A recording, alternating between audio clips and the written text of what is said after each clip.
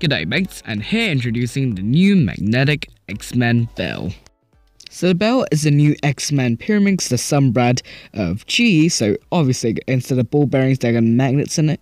It's kind of interesting for their attempt as the Moe Harris does, and it's cool little violin logo that has customized on it, but has been wearing out since the solves I've been doing on it. So just quick show you the little box that it comes with it if you're wondering what it looks like. It's just your standard little cheap Pyraminx box with the writing in the black model. And the famous Mats Valk is going to be on the other side of the box as well, so don't forget to say hi.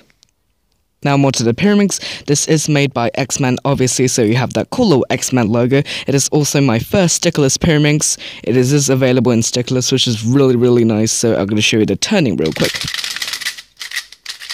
Yeah.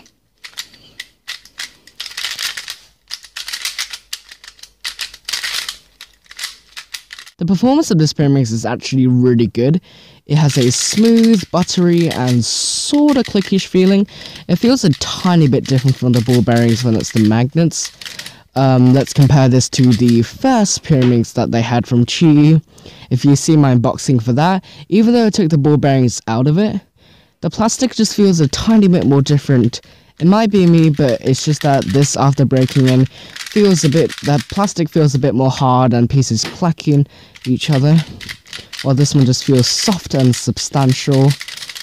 Well, uh, it just feels a bit more pleasant than this one. Feels a tiny bit more clacky and harsh when you turn it.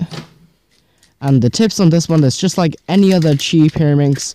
It's um, scratchy and a tiny bit more dry.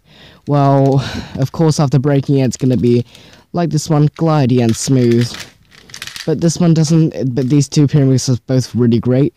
And size is, um, I think they're the exact same size, yes, they are. Or they might, or one of them might be a bit smaller.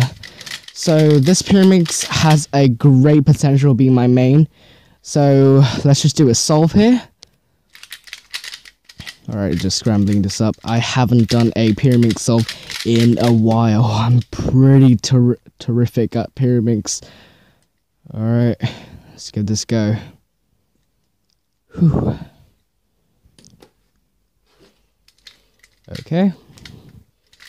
Looking through the camera isn't always the best thing to do as well.